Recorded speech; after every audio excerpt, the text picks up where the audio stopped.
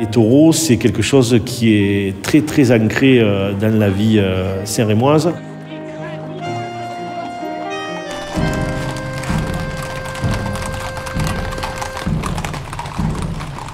Le but c'est d'attraper le taureau et de l'arrêter.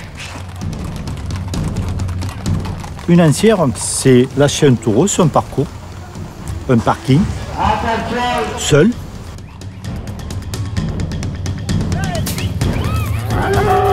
Ah, les hommes, voyez, sont, sont machos. Pour prouver à la copine, de dire Ah, tu vu, moi j'ai attrapé un taureau. Pour moi, c'est pas ça le plus important, c'est surtout la fée du bio. Dans les courses de vachette piscine, on fait plusieurs jeux.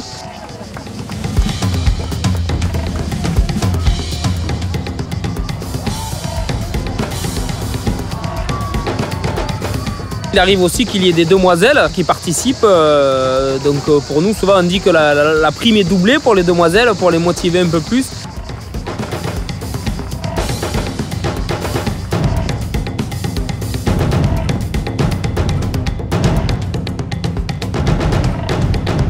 C'est l'animal, la, la star de notre, de notre course camarguaise. La corrida et la course camarguaise sont deux milieux complètement différents.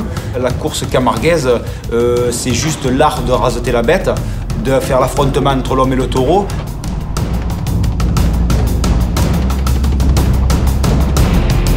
Pour beaucoup de taureaux, c'est un jeu.